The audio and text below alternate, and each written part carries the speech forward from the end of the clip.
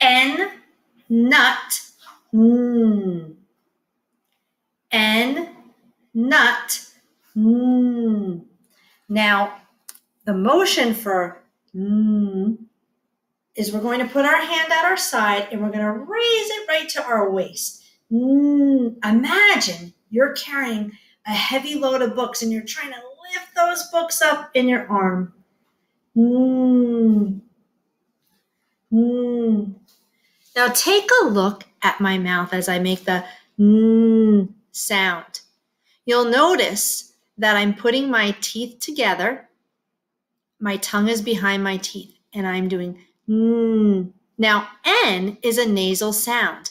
If we were to hold our nose, we would not be able to make the sound N. It comes from our nose, not from our throat. Let's try it.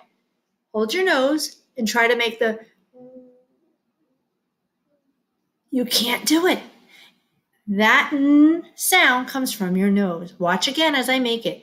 N. And my tongue is actually touching the roof of my mouth, the top of my mouth. N. Good job.